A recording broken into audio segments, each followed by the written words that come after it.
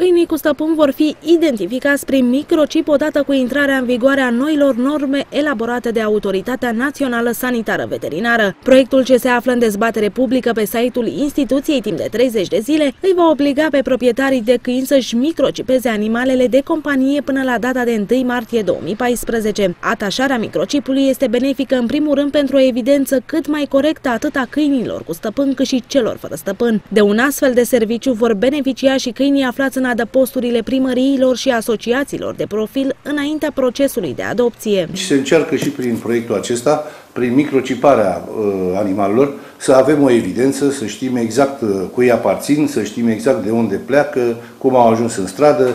Deci este o formă prin care, zic eu și mi se pare foarte eficientă, de a identifica și de a stabili exact proprietar. Acest proiect uh, pare să că va sta 30 de zile în uh, atenția publicului.